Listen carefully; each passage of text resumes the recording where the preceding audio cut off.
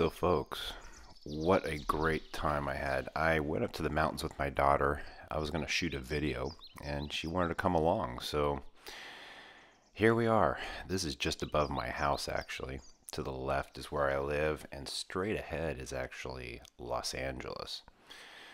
So, our first knife that we're looking at is this Remington, and this is uh, I have a whole bunch of Remingtons, and they're all they all have these Delrin handles, and they're all made by Camillus, and they are incredible.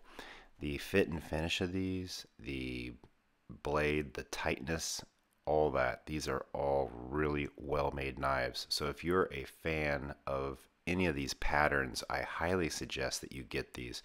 They're selling on eBay typically for around 40 to 50 dollars. I am not kidding. Um, even lower uh, you could possibly get that one for $32. Here's another one. And they have incredible designs because these are the Remington designs. So here's one that looks like a Texas toothpick, but it's actually for fishing. And that end section is used for removing the hook.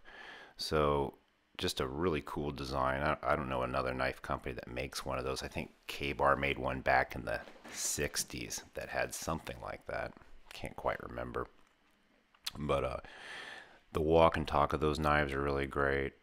And here's another one. This is Old Hickory, and these were made, I believe, by Queen back in the 70s. Um, take a look at this master blade. It is gorgeous. Just beautiful. It is really thick. It is really well profiled. The walk and talk is amazing on these. Now this is a brand new knife, but you can tell it's got a little bit of patina. I have not over cleaned this knife. So again, you can go to eBay and make a bid on that one. Um, I actually have the starting price on that pretty high. It's just too amazing of a knife. I'll keep it myself. It is just incredible. And here's another one. This is rather large Remington. And all these are on eBay right now. Just go below, click on that link, put a dream bid on it. You could get this knife for 30 $2, guys.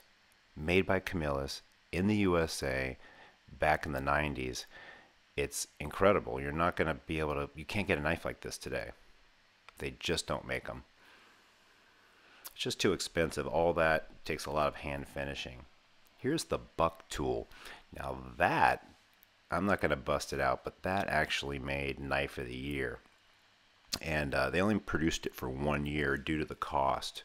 But in 1996, it actually won Knife of the Year, and uh, so because it was just an incredible knife. Ooh, here's an Ulster. This knife is so well built, guys. It's brand new. Oh, it's just beautiful. I believe that one was made in the 70s also. Bone handle, just so overbuilt. Just a great knife and has really nice pull.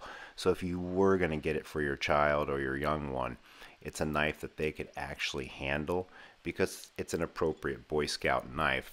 Um, the Boy Scout knives were made where you were a smaller child or a smaller young person could pull out the blade easier.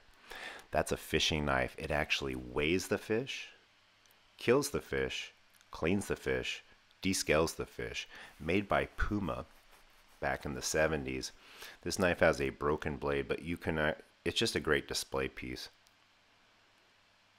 if anything, you got a, a head knocker with that Puma. One of the most beautiful cell knives I've owned. This is a 1996 uh, Bulldog Sunfish. Beautiful knife.